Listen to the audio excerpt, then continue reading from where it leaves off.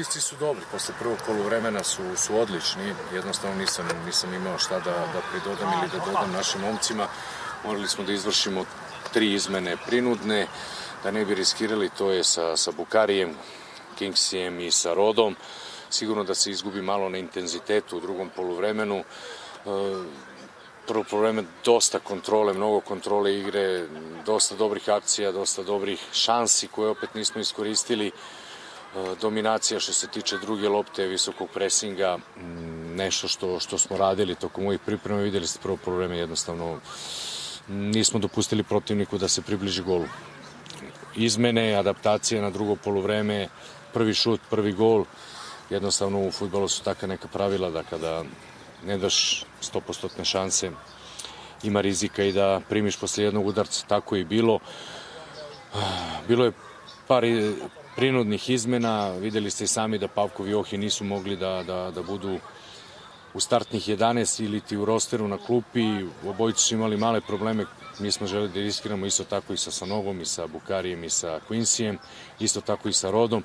Jednostavno igrači koji prave razliku kada ne igraju, to se, to se osjeća.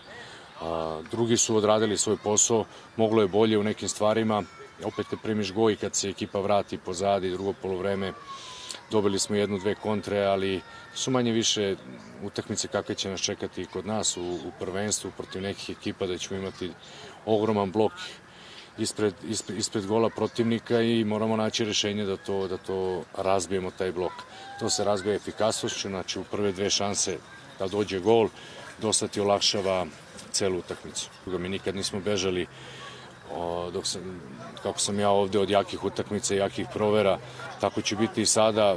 Posle utakmice idemo na dugačak put, imaćemo malo vremena za odmor i igramo protiv ekipe koje je zadnju utakmicu dobre CSKA Mosku sa, sa 3-0, imaju mnogo, mnogo strašne i dobre pojedince, ali, ali idemo da da odigramo jednu, jednu takmičarsku utakmicu i da se pokažemo u najboljem svetlu. Naravno, nećemo riskirati ako neko bude problematičan, ako bude na 70-30, da je dobro, nećemo riskirati. Nama je cilj 10. juli da počnemo prvenstvo, da sačekamo spremni drugi i 9. avgust, kada je treće, treće kolo kvalifikacija za Ligu šampiona.